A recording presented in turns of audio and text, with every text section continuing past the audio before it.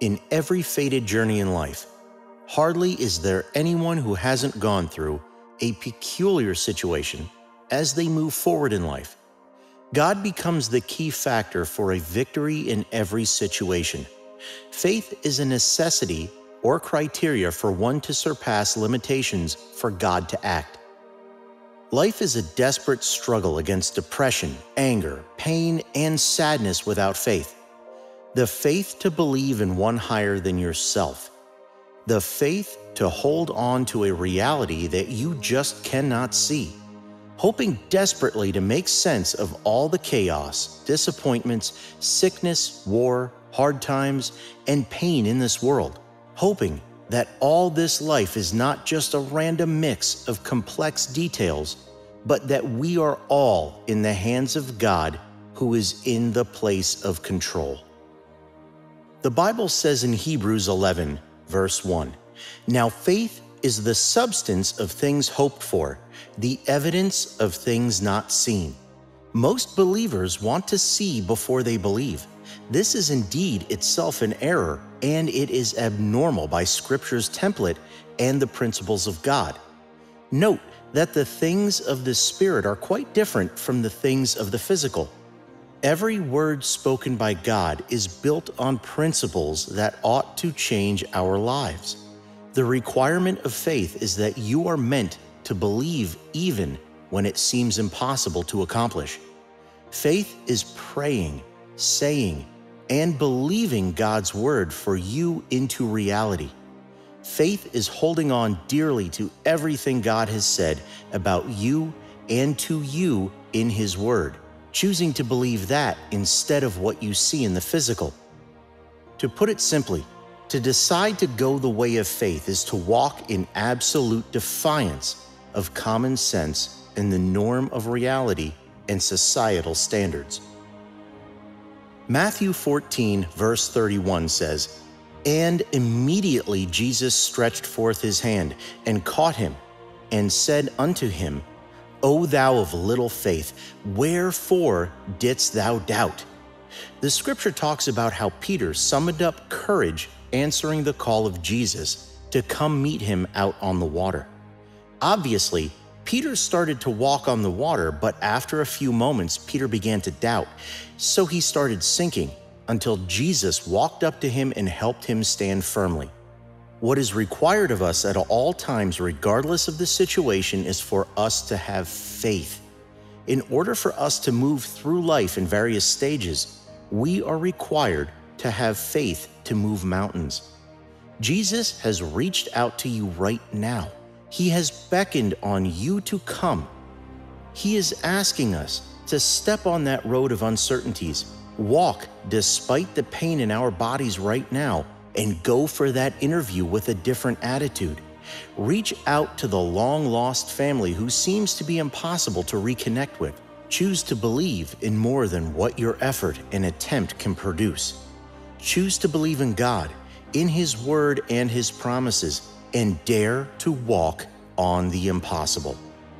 A profound example of a person in the Bible whose faith served as a model to all believers in Christ is the man Abraham.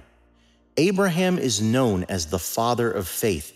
He is a model who has stirred the heart of so many believers into understanding the profound attitude of faith. Hallelujah! So excited to announce that exercising your faith is reforging your fate. Abraham, all through his life, consistently exercised his faith. His faith brought him into a new era of riches, generational blessings, and eternal legacy. This is the benefits we all enjoy now as believers in Christ. Abraham, through obedience by faith, was bestowed the heritage of kingship, spiritual authority, power, and so on we as believers ought to follow after the footsteps of the man called Abraham, which means a man of faith is backed up by power. Power is only released to assist those who will dare to step out in faith against all odds. Abraham stepped out despite the uncertainties of trusting God. He dared to go on the journey to the promised land even when God did not tell him everything about the journey. When God promised him a child, he dared to believe God even when his natural body has long ceased the childbearing capability. His wife has long passed the age of childbirth and delivery, yet he held on stubbornly to faith. In defiance of the reality that confronted him, he foolishly chose to keep his faith in God. God did not let him down. For the power to bring this long awaited promise to pass was released and received that promise according to what God had told him. The scriptures emphasize how important faith is and why we as believers should process it while believing in God. Sometimes we walk around carrying mountain loads of burdens that hinder us from reaching our goals in life. This brings about doubt in believing and trusting in God. It is not enough to just hope that things will change someday as you keep holding on. It is crucial that you invest your absolute trust and belief in no one else but God. The problems arising are absolutely normal, for they are here to pass our faith through the fire of tribulations to bring the truth of whom and in what we truly believe to the surface. Every man will be tested according to the ability put in him by God. Every situation in life, no matter how troublesome it may be, which confronts us, require our total faith in Christ. In Hebrews 11, verse 30, by faith, the walls of Jericho fell down after they were compassed out seven days. The children of Israel were faced with overcoming Jericho because this was the part of the inheritance God had promised them. May I clarify that if the children of Israel were without faith and timid to follow the instructions of God concerning the fall and infiltration of Jericho, then they would have been stopped dead in their tracks and unable to claim their inheritance. A good example also is the situation of the Israelites crossing the Red Sea. But by faith, they were able to pass through the Red Sea on dry land while the Egyptians were drowned. Consequently, we should understand that without faith, nothing would work out well. Believers most times have had a great deal of persistent or reoccurring issues that have plundered their health, families, marriages, and so many more, all leading to faithless life which has produced no good results and carefree believers. I admonish you to not live a faithless life, but a life full of obedience to God's word and faith balanced life because when you do this, God can do all that you desire. So choose to believe that God will show up for your broken or breaking marriage. Choose to believe that His word concerning your children to make them a success on earth will come to pass instead. They will not end up rebels and without a future. Choose to believe that your health is not a foregone issue, no matter how bad the enemy has painted things to look. Decide today to walk in absolute faith in God's ability to turn things around in your favor according to His word, that lines will fall into you in pleasant places, that this season of trial, failure, heartbreak, and pain will not be the end of you. It is not enough for you to have faith alone, but acting and continuous improvement on your faith by listening to the experience of other notable ministers in faith and regarding the Word of God with understanding through the guidance of the Holy Spirit. Obedience to the Word of God is a show in exercising faith. What is the essence of a man who rightly knows the Word and yet he refuses to obey the Word by acting on it?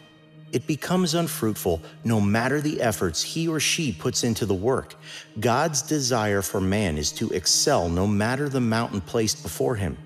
The scripture encourages total obedience of man towards the precept of God. Through this, faith comes alive in every single word a man speaks. So go out there in search of the best counsel for your life, the counsel of God through His Word. Contained within the Bible is His plan for you and your family.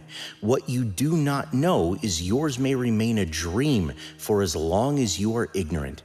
Step out today to experience and know God's plan for you through His Word, the Bible. An existing and essential benefit of faith is having access to grace through faith. We need faith to move mountains. This becomes a major milestone for every believer in Christ. For one to have faith, he or she has gotten access to grace.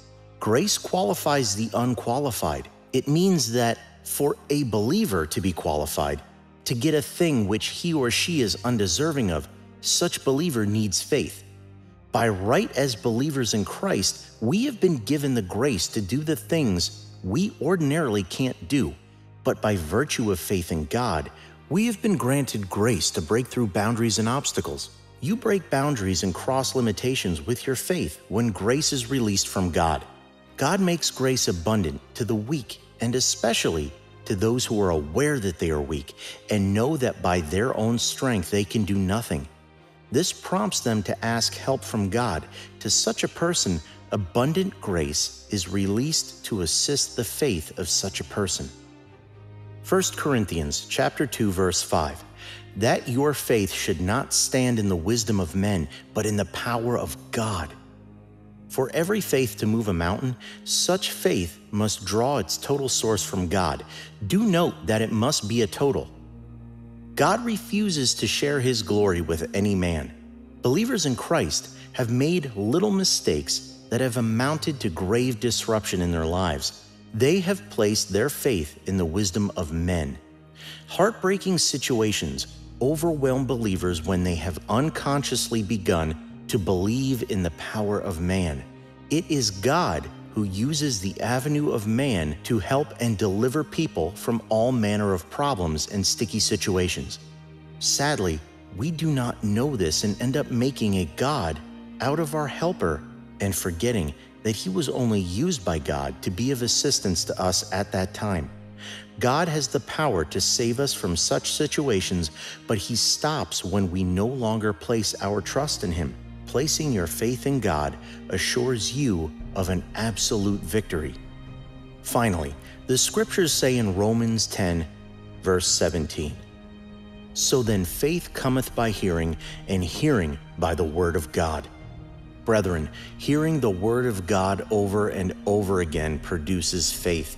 Just imagine that you are faithful to do your workout all the time then the main aim for the workout becomes realizable because you have been consistent.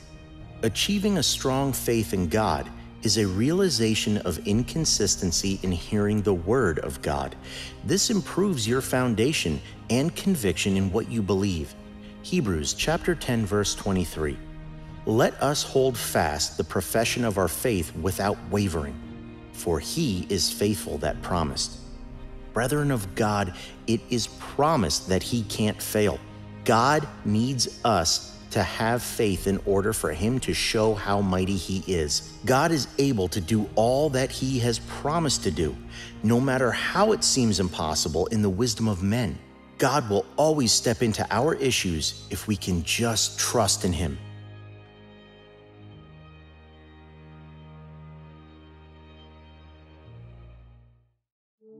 God is in control at all times. Do you believe that's true today? Perhaps it's difficult for you to perceive His strength, since life is filled with storms that surge and threaten whatever you hold so dear. If such is the case, a home built on the rock, God, is safe. Perhaps you're having problems defining in control. Maybe you don't want to be subjected to His authority. Others may have exploited their power, and you vow never to submit to anybody again. Whether we like it or not, His omnipotence is a truth. What is the definition of control? The phrases authority, subjection, sovereignty, power, dominance, and restriction spring to mind. God's people are frequently engaged in conflict whether with flesh and blood authorities or with heavenly realms. He is the leader of an army, and God's people are his troops, over whom he has power. God not only directs, but also protects his people, taking full responsibility for them. Fear not, for I am with you. Be not dismayed, for I am your God. I will strengthen you. I will help you. I will uphold you with my righteous right hand. Isaiah 41:10. God knows everything there is to know about us. He is aware of our worries and anxieties. He's well aware that we're all human. Despite this, God often reminds us not to be afraid. Fearlessness entails trusting God rather than feeling our current predicament is larger than God. God wants us to put our faith in Him, to have faith that He will always be enough. When we have fears, we must remember that God is not disappointed in us. God is well aware of our apprehensive nature, and He is concerned about all of our fears. Fear is something that God does not want us to be consumed with. Our anxieties, on the other hand, do not surprise Him in the least. For those who trust in the Lord's Word, the Lord's instructions are not difficult or tiresome. For those who are called by His name, God's commandments are neither unattainable nor unreasonable. Joshua was summoned and told to be brave and powerful, and so are you. He was to get his power from the Lord God and not from his own might or intellect, and so are you. Joshua and the Israelites would have failed if they tried to conquer the Promised Land with their own courage and power. Instead, they put their faith in the Lord their God, who had vowed to be with them everywhere they went. Have I not commanded you? Be strong and courageous. Do not tremble or be dismayed, for the Lord your God is with you wherever you go. Joshua 1 9. You too are to immerse yourself in God's Word, reflect on God's promises, believe in the reality of God's Word, obey God's commands that have been given to us via Scripture, knowing that God is with you and the Almighty is your strength. In our vulnerability, His strength is made perfect. The promise that the all powerful God is our only source of strength and refuge is as valid today as it was in Joshua's day. God promises to be with us in every hardship and trouble we face, just as He was with Joshua when He gave him the mandate. He makes promises and ever keeps them. Anxiety and panic are constant human companions. These are two of the enemy's most often used weapons against us. Fear left unchecked can keep you in bed for hours longer than is healthy or prudent. Anxiety can manifest itself as a raging rage, rude remarks, and unpleasant attitudes. The longer you fight fear, the more likely you are to get overpowered by it, enabling it to dictate your every action and choice. Even yet, we have the assurance that God is reliable and He will not allow you to be tempted beyond your capabilities which includes the sinful unbelief of a worried heart. God has the last say. It's up to Him. Psalm 46, 1 through 7, introduces the theme of trust in God. God is our refuge and strength, a helper who is always found in times of trouble. Quit trying to control everything and make God your sanctuary, and implore Him for the strength you'll need each minute of the day. God is with us. He is always there, and He is our ally. A refuge is, by definition, a safe haven. When the Bible says that God is our shelter, it means that when we need protection from something, God is our safe haven. Knowing that God is our refuge allows us to put our confidence in Him with more ease. We don't have to be afraid of events or individuals who endanger our bodily or spiritual well being. There is no scenario we will ever encounter that is beyond God's control. Therefore, being right with Him is the finest place to be at all times. God is our Redeemer. The term Redeemer connotes power, might, boldness, and mightiness. When we face difficulties and tribulations, our strength is sapped. However, God is able to strengthen us and assist us in standing. All we have to do is beg for His help. As followers of Jesus, we serve a God who is unfazed by the challenges we confront on a daily basis. God is sovereign. Thus, He is well versed in panic, pandemics, turmoil, and perplexity. And no matter what we encounter, He is beside us. God has also provided us His Word, which we may go to whenever we need to be reminded of His presence. And we discover this promise in Psalm 18:2 in His Word. The Lord is my rock, my fortress, and my deliverer. My God is my rock, in whom I take refuge, my shield and the horn of my salvation, my stronghold. I called to the Lord, who is worthy of praise, and I have been saved from my enemies. When life gets too much for you, where do you go? Some people's rock is a person, such as their mother, father, or closest friend. Others use it as a particular spot to go when they feel lost and alone, or when life becomes too much for them. Others seek solace in amusement or a heavy drink. David had grown to believe that God was the greatest and only place for consolation, refuge, strength, and refreshment in the darkest hour. With outstretched arms, Jesus invites us to rest in His presence. All you who are tired and burdened, come to me, and I will give you rest. Matthew 11, 28. Come to me is the first thing Jesus says to us. We are free to approach God directly. There is no barrier between us and Him. Second, He extends an invitation to us Jesus wants you so much that he willingly died on the cross to demonstrate his love for you.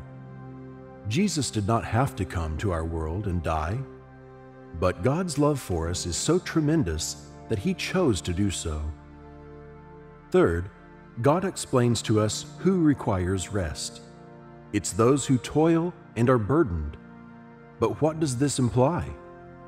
Individuals who labor in this sense refer to those who are attempting to accomplish everything on their own and failing. When we strive to do everything in life just in our own power, it rarely works out. When you are heavy laden, it feels as though your soul, intellect, will, and emotions are unable to operate because you are carrying a burden that you are attempting to lighten on your own. It makes you feel unhappy, depressed, worried, and all other unpleasant emotions we don't want to experience in life.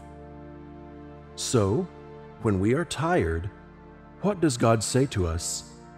He promises to give us rest, and the greatest part is that He even tells us how to get it by taking on His yoke and learning from Him. I'm not sure what this yoke is for you.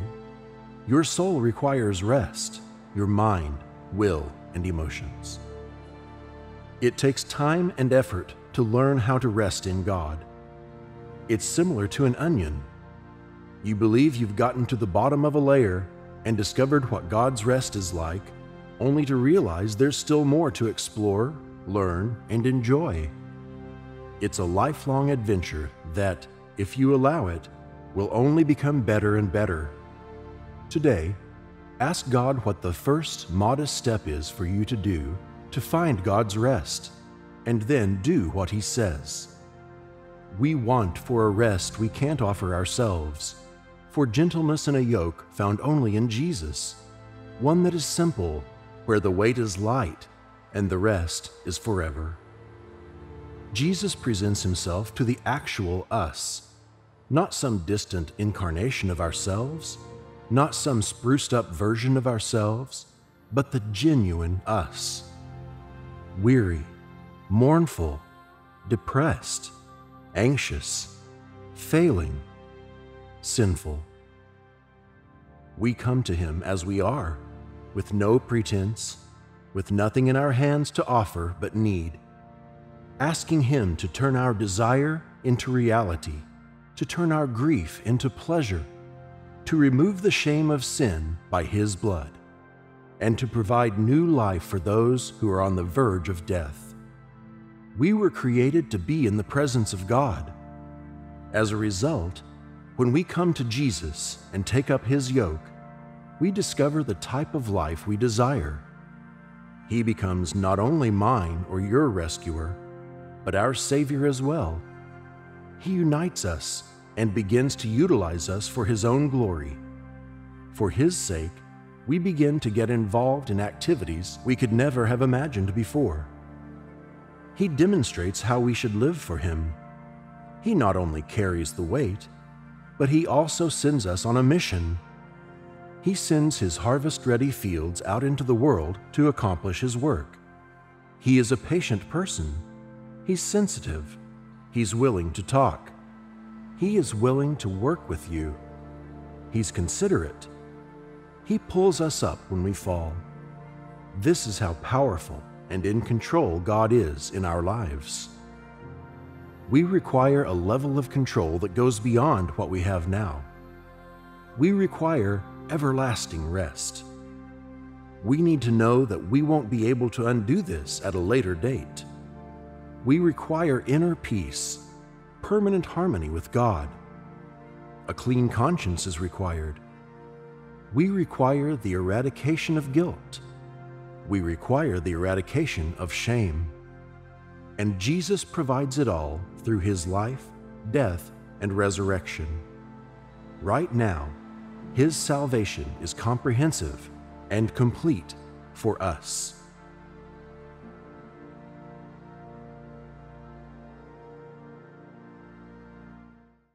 One of the most prominent reasons for individuals rejecting Christianity is the belief in miracles.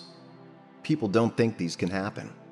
Thus, they argue that the other sections of the Bible and biblical accounts are false. Christians have been taught to believe in the Bible's miracles, but is this really logical?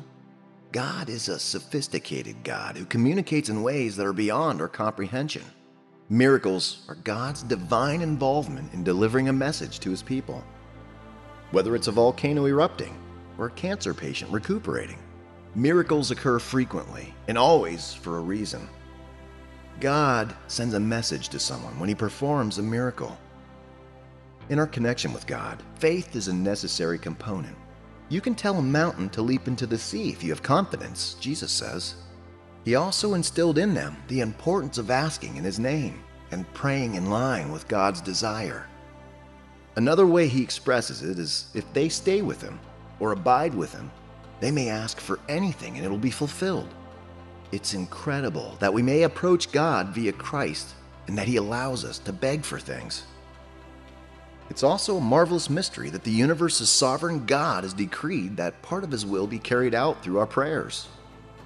Mark 11:24 Therefore I tell you, whatever you ask for in prayer, believe that you've received it, and it will be yours.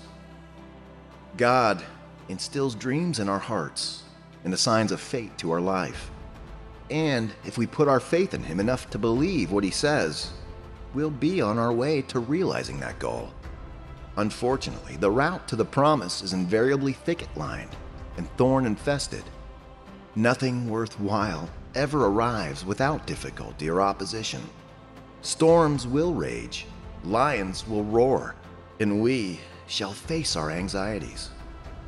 God causes the journey to be rough in order to refine us and prepare us for our promised land.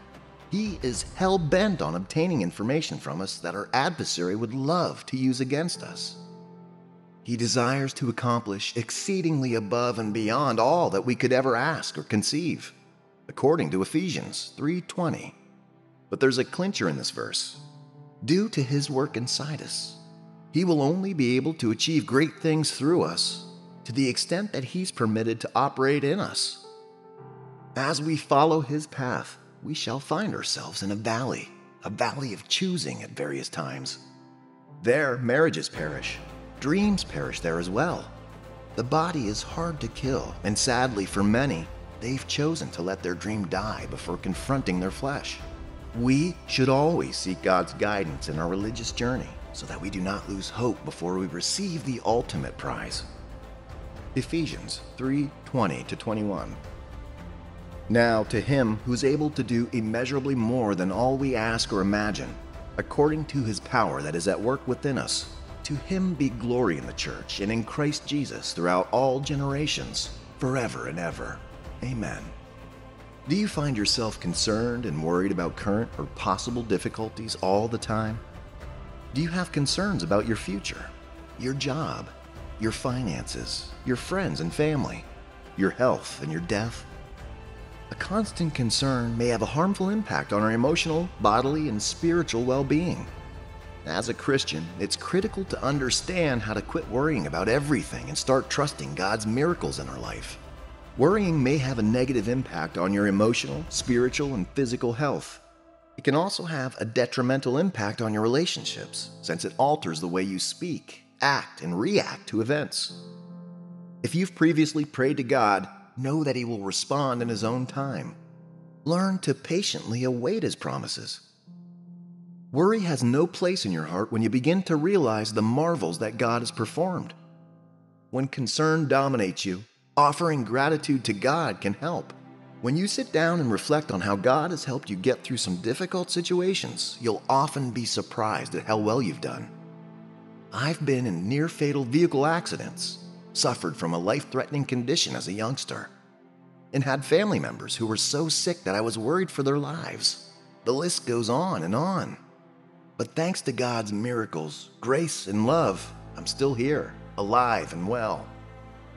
Everyone has a story to tell, and we've all had circumstances in which we've clearly seen God's hand at work. Be anxious for nothing, but in everything, by prayer and supplication, with thanksgiving, let your requests be made known to God. And the peace of God, which surpasses all understanding, will guard your hearts and minds through Christ Jesus. Philippians 4 6 7. The Bible is a living and vibrant book. It's still applicable today in terms of assisting us in facing and dealing with life's issues. God's Word can assist you in reducing your anxiety and tension levels. God is frequently preparing us for something we've asked for, but we can't see the wider picture due to our lack of confidence. If you can't pray about something but immediately start worrying about it, what's the point of praying? You must have faith in God to fix the problem for you. Hold on to your hope and never lose trust in your miracle. Faith, Jesus tells us, can move mountains. Such trust is what we should aim towards. Do you feel as though time has stopped for you? Does it feel as though nothing changes day after day and that God has forgotten all about you? He hasn't forgotten about you. He's merely taking the time to get you ready for a certain assignment or an upcoming opportunity. In the season of development, God's methods include preparation, obedience, and service. We may believe that we are prepared for anything since we don't always grasp God's methods. We've been studying the Bible. We've been praying for a long time. We've been listening to excellent instruction. What else are we supposed to do? While we're going through the preparatory process, we must trust that God understands what He's doing. God's timing is enigmatic. We'll be extremely frustrated if we start comparing how much time we spend waiting to how much time others spend waiting. Each of our lives has a unique design from God. Esther's purpose was to go before the king and be welcomed rather than dismissed, as well as to request that he be kind to the Jews. Our objectives are different, but we too will need time to attain them effectively. We may need to improve our physical fitness, it's possible that we'll need spiritual development and awareness. It's possible that we'll need to develop emotionally. Whatever we have to accomplish, part of it will be done with other support, but most of it will be done alone. God's perfect timing accomplishes two goals. It strengthens our faith by forcing us to wait and trust Him, and it ensures that He and He alone receives the glory and honor for bringing us through. Psalms 31 14 to 17. But I trust in you, Lord. I say, You are my God. My times are in your hands. Deliver me from the hands of my enemies, from those who pursue me. Let your face shine on your servant. Save me in your unfailing love. Let me not be put to shame. Lord, for I have cried out to you. But let the wicked be put to shame and be silent in the realm of the dead. In this passage, David frequently extols the Lord's goodness to himself and rejoices in the God of his salvation's loving kindness. He keeps track of the numerous times the Lord has seen and replied to the accusations, affliction, and problems that have followed him. And thanks to the Lord his God for putting to fight the foes who covertly set traps for him. Despite his many enemies, the sorrows and weeping that sap his strength, and the malicious machinations that are hatched against him, David is able to say, But as for me, O Lord, I trust in you. You are my God, I exclaim joyfully. I know that you can do anything, and nothing that you plan is impossible. Job 42 2. Job's entire life had crumbled in one day, and he'd become the laughing joke of the neighborhood. And in an attempt to excuse himself, Job begged of the Lord to explain why. Why should this happen to one who trusted in God? His inquiring whispers were, why should he endure so much? But following his contact with the creator of the universe, Job realized that God knows everything and can do everything, and that God must be trusted to stay in command of everything without interference or accusations from people whose grasp of the Lord's profound things is so limited. It was once remarked that the Son of God is shown to us via man's teaching, but the Son of God is revealed in us by the Holy Spirit's illumination. This was the joyful consequence of Job's experience with God. And this is the lesson of confidence and trust that God wants all of his children to understand. God can do anything. God has the right to do anything he wants. And nothing he planned or designs are impossible because he alone is God. Let us live in humble surrender to your Spirit's leadership, knowing that there's nothing good in ourselves, knowing that you can do anything and that nothing you set out to do is impossible.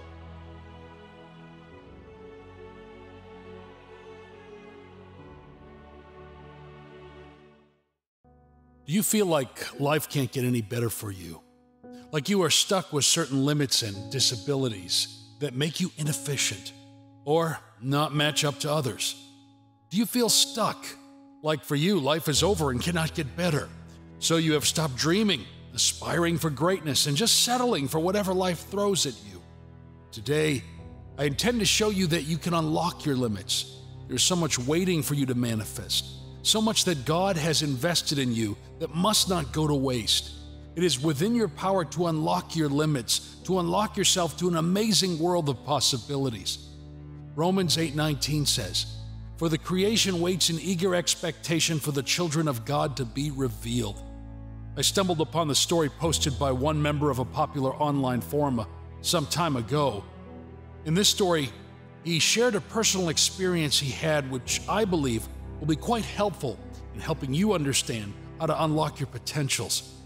His story reads thus One day, a small gap appeared in the cocoon, through which the butterfly had to appear. As a small boy who accidentally passed by, I stopped and watched how the butterfly was trying to get out of the cocoon. It took a long time. The butterfly was trying very hard, and the gap was as little as before. It seemed that the power would leave the butterfly soon. As a boy, I decided to help the butterfly. I took a penknife and cut the cocoon. The butterfly immediately got out, but its body was weak and feeble, and the wings were barely moving. I continued to watch the butterfly, thinking that now its wings would spread and it would fly. However, that did not happen. The rest of its life, the butterfly had to drag its weak body and wings that weren't spread. It was unable to fly because I did not realize that an effort to enter through the narrow gap of the cocoon was necessary for the butterfly, so that the life giving fluid would move from the body to the butterfly's wings, and that the butterfly could fly. Life forced the butterfly to leave its shell hardly so that it would become stronger, would be able to grow and develop. And here was his message from that story. If we were allowed to live without meeting difficulties, we would not be viable. Life gives us challenges to make us stronger. Therefore, every time I am faced with a challenge, I will not let the water sink my ship, but I will always let the water carry me to new destinations. Why is this story so important in this context today? You see, After dealing with the butterfly, this person learned a valuable lesson about allowing ourselves to go through everything that life presents us and to break our own limitations. You never know what you are capable of until it is all you have to do. You never know how strong you are until your entire existence and survival lies on being strong. But as long as you keep yourself within the borders of your own limit, you will not be able to maximize your potential. Don't you know that God wants you to maximize your potential? Do you know that because of what He has placed in your life, you cannot remain where you are? Where you are now is the least place you can be. Yes, you can be grateful. Yes, you have to be content with where you have, but then you have to learn not to confuse contentment with complacency. With contentment, you are grateful for where you are while looking forward to where and what you can be. With complacency, on the other hand, you are pleased with how far you have come and you have settled there. You'd rather stay within the comfort of that familiar territory and build your empire there than go out of your way to chart a new course in the unfamiliar territory. The average person likes familiar territory. The average person does not like change. Change is risky. Change is not comfortable. Change is work. But, dear friend, change is good. Change is necessary for growth to happen. Change is worth every risk taken. Is it comfortable? No. Is it worth it? Yes. One of my favorite examples of unlocking your limitations is the story of the Israelites in the wilderness. You see, after they came out of Egypt by the manifestation of God's mighty hand, they began their journey to the promised land. This journey was like the process of the butterfly called metamorphosis. You see, God would use different stages and situations on this journey to transform them from who they were to who He wanted them to be before they stepped into the promised land. They had left Egypt as lifelong slaves, and their minds were programmed to respond only one way slavery, bondage, fear, timidity, and low self esteem. God was going to use this journey to rid them of it by empowering them to win their battles and thereby reinstalling a victorious mindset in them instead. So that when they entered the promised land, they would be marching in as triumphant and not as timid slaves. Well, one of those stages as God led them from one point to another, they arrived at Horeb, frequently called the Mountain of God. This was where God gave them the Ten Commandments and where He renewed His covenant with the entire nation again. It was still in the desert, but there they had enough sustenance. Mount Horeb is a symbol of a point of spiritual achievement through suffering. It is a place of protection and rest in the midst of chaos and dryness all around. At Horeb, you think you have tried enough because there you feel closer to God. There you feel you have everything you need proximity to divinity, provision, and protection. There you feel you have found rest finally, no pressure. Here you have control over what comes and over what goes. Here you have measured the responsibilities and can handle them all without breaking a sweat. Here, there is no chaos, it's serene, and no intruder dares you there because you are somewhat established. Yet, Horeb, as great as it is, is not your promised land. The children of Israel reached this point and settled too. However, God would not have it, and He told them it was time to get back on the road. This was not His best for them yet. Deuteronomy 1 6 through 8 narrates what God told them.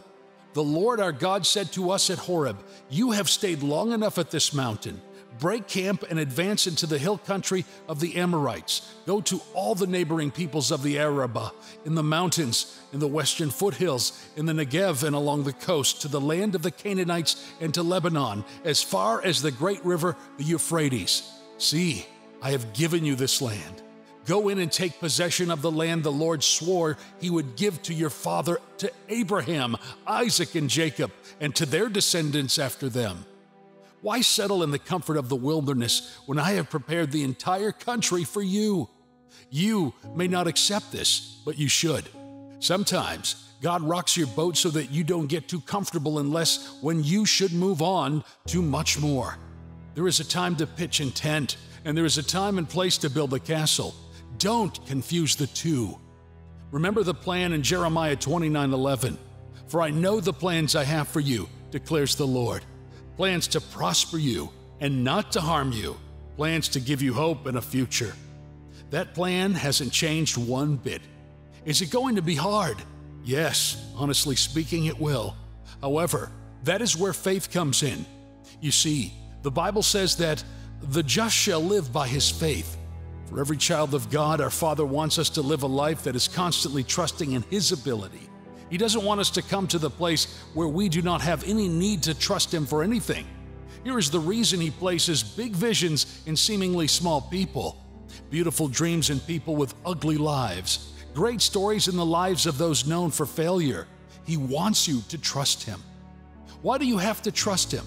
Because if God helps you, you cannot but win. Isaiah 41:10 13 through 14 reads So do not fear, for I am with you. Do not be dismayed, for I am your God. I will strengthen you and help you. I will uphold you with my righteous hand. For I am the Lord your God who takes hold of your right hand and says to you, Do not fear, I will help you. Do not be afraid, you worm Jacob. Little Israel, do not fear, for I myself will help you, declares the Lord, your Redeemer, the Holy One of Israel. What he says to Israel, he speaks to you today. Will you trust him? What is that dream you have seen? Don't throw it away. What is the thing that looks like a handicap in your life right now? Have you thought that maybe God allowed it in your life to make your story more notable? Think about this. If a regular person did the things Helen Keller did, they might have been applauded and maybe forgotten later. Yet for someone like Helen, with her disabilities, was noteworthy. Today, we still read and hear so much about the woman who, though was blind and deaf, died a successful author, disability rights advocate, political activist, and a lecturer. A feat that many complete and able people never reach in their lifetime. Let me tell you, the uglier the mess in your life, the more notable your success story. Will you dare trust God with that ugliness? It is time to open your bag of limitations and let it all out. Maybe you think that you are alone in all of these. Maybe your environment and experiences have programmed your mind to believe that you cannot reach those visions. That is a lie. You are not alone.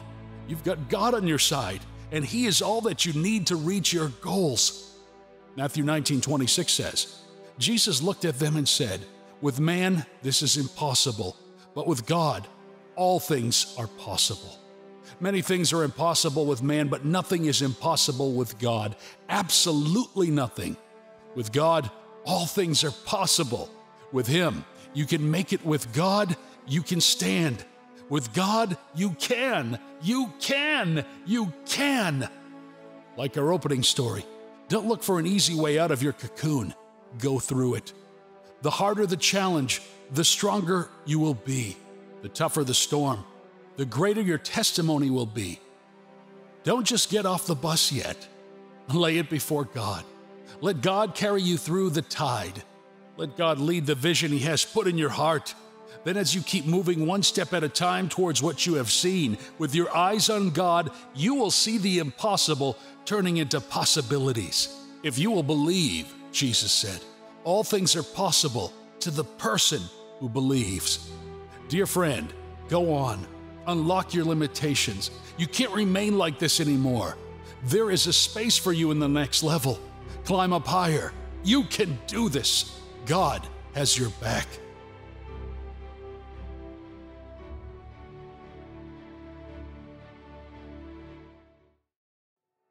What are you focused on? Have you ever thought about it? It is a fact that a lot of things are calling for your attention in life. But what you focus on is your decision. Among so many things that you are exposed to, it is your choice which of them you respond to. But perhaps the wisest thing for you to do is to focus on God, the very source of life. When you do this, He will give you the proper perspective on everything. It clearly says in John 1 5 that God is light, and in him is no darkness at all. God is one with his word, meaning that his word is the light. Therefore, you focus on God by constantly dwelling on his word. His Word gives you the true definition and explanation of everything. Life is demystified for the Christian who dwells on God's Word. This is so important because from the beginning, God never wanted man to walk in darkness. God, who is light, could not have made man in his own image and placed him in darkness. This was why he put a light in a place before he made man. Darkness signifies confusion, uncertainty, chaos, crisis, fear, evil, death, etc. Whatever is outside God, you don't need it. It will only get you into trouble. Adam and Eve were getting along well with themselves and God until the serpent came. Before this, God had given Adam his mandate and told him how to conduct himself.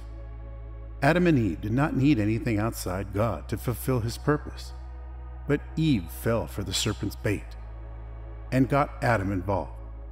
Much of our troubles as Christians today are traceable to a lack of light in our hearts or a failure to apply it. And when we have not received the light, which is God's Word, we are likely to seek answers outside of it. This is the realm of darkness. But the Bible charges in the book of Colossians 3:16, "Let the word of Christ dwell in you richly in all wisdom, teaching and admonishing one another in psalms and hymns and spiritual songs, singing with grace into your hearts to the Lord." When you learn to focus on God, you will not be weighed down by the issues of life. God, through His Word, teaches you all things and fills you with wisdom for life. No wonder it says that. And ye are complete within Him, which is the head of all principality and power. Colossians 2:10. No matter the challenges you are facing now, do not let them break your focus on God. This is their intent to turn you from God in search of solutions. In Chronicles 16, the Bible shows the account of Asa, king of Judah, whose reign began to witness decline when he sought help from men rather than God at a time of war, and when he feet got diseased. Settle it in your mind that God has all the answers to the issues before you, and nothing can make him by surprise. Jesus Christ, speaking in the book of Matthew 6:33, said, "But seek ye first in the kingdom of God and his righteousness, and all these things shall be added unto you." God brought you into his wisdom. God brought you into his kingdom through Jesus Christ. He did not save you for yourself. You need to learn how his kingdom functions and what your role is. As you do this, God will take care of every issue in your life, one after the other. As you cooperate with Him in expanding His kingdom on earth through the gospel, He will meet your needs. God's priority is to have all men saved and come unto the knowledge of the truth. Partner with Him in this regard and let Him take responsibility for your life. Do not wait until you have the time. Create it. Do wait till you have a lot of money. Start using what you have. God is a multiplier, and He is looking for men and women that He can trust. With opportunities, platforms, and wealth, do not lose sight of God in pursuit of anything. Approach everything with the light of God. If you try to run your life all by yourself, you will be drained and frustrated. You will be faced with challenges that only God can take care of. God wants you to depend totally on Him so that you can stay refreshed at all times. God has the power to do many things in different places all at once without being overwhelmed. He is not a man, but a spirit. Jesus Christ speaking in the book of Matthew 11 28 30. Come unto me, all ye that labor and are heavy laden, and I will give you rest. Take my yoke upon you and learn from me, for I am meek and lowly in heart, and ye shall find rest unto your soul. For my yoke is easy and my burden is light. Stay in constant fellowship with God, and you will not struggle because His wisdom will be evident in all you do. As a believer in Jesus Christ, You have the life and nature of God in you. This means that you have the capacity to function like God and get His kind of results. In this way, nothing you do fails because you are one spirit with Him. Even when you pray, do not spend too much time asking God for things. Concentrate on ministering to Him in thanksgiving, worship, and praises. Believe that He always knows what to do. It is during such times that you will have visions and receive clear guidance. In answer to prayers, and sometimes it will not be your own prayer. It was while he was praying that God gave Peter a vision to reach out to Cornelius the Gentile with the gospel. God can give you a vision for your family, your business, and your community, but your heart must be open to Him. You can admire what God is doing in the lives of other men and women, but if you focus on Him, He will show you what to do with your own life. He has a blueprint for your destiny, but you must not be in a hurry. Moses the prophet spent 40 days on Mount Sinai with God, where he summoned to receive the Ten Commandments for the nation of Israel. God loves to test and train men before he commits valuable things to them. Focus is a major ingredient for success in any endeavor. You must be able to recognize and avoid distractions. There are activities that drain your time and energy, but they are not important. A lot of people are failing because they have not learned to prioritize their activities. The first thing for you to do each morning is to pray and meditate on the Word of God. This is where you receive wisdom for a fruitful day. Make a decision that your television and radio should be switched off at this time. It shows how important such moments are to you. Your phone also should be on flight mode. Let people around you know how special such times are to you. Even when you are done praying, keep your mind on God. God will keep you in peace when your mind is on Him. You will confidently get into the day's program knowing that everything will turn out well, no matter how good your plans are. Without the hand of God, you will struggle to see them fulfilled. What God does is help you deal with any emergencies capable of making you derail. You must realize that your plans are not as perfect as you think.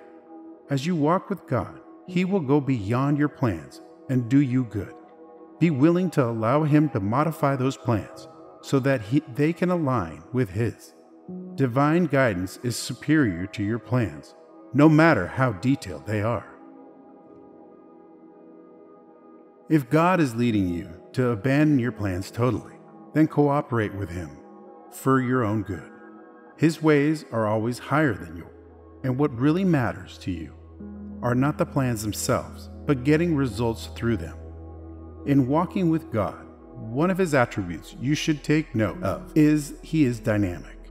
What He will tell you to do in a particular situation now may not be the same thing He will tell you to do if a similar situation arises in the future. The Israelites needed what to drink in the wilderness, so God instructed Moses to strike the rock of Horeb. When Moses obeyed, water came out and the people drank. But another time, when Israel needed water, God told Moses to speak to the rock this time around. Moses struck the rock again and water came out, but God was displeased. You must trust God enough to obey the new instruction, even when it does not make any sense to you. What worked yesterday may not be acceptable today. Do not seek new ways by yourself. Let it come from God. God can speak through circumstance or during a conversation. It does not have to be spectacular. Sometimes we jump out of our house and go about looking for money. It is a big mistake to seek God first before things because you will find it difficult to hear Him when your mind is not on Him. The voice of God can save you money and can even save your life because God knows what is ahead. All that glitters is not gold, so wake up early enough to seek God above everything else. Succeeding is not about how many places you went or how many things you are doing. You are not competing with anyone but yourself if you were ignorant of what I have been sharing, There is no need for any regrets. Just start putting them to work so that your future can be better. Be very patient with yourself because it takes some time to get used to it. As they say, Rome was not built in a day. Be very determined to do it. If you make mistakes, do not beat yourself. Be encouraged and keep at it. It takes tenacity to adopt a new routine. Your family and those around you will need to adjust to it. But your life will certainly be more productive. Look around you and make inquiry. All successful people have a daily routine that their lives follow in accordance with, with their pursuit business, academics, arts, sports, etc. Nobody stumbles into true success. It is always traceable to deliberate steps practiced over a period of time. It is hard, but smart work. It involves continuous unlearning and relearning. Knowledge needs to be reviewed and updated when necessary because what you knew five years ago may have become obsolete today. Be very current in your field. You are growing even if the results are not yet visible. Just stay on track.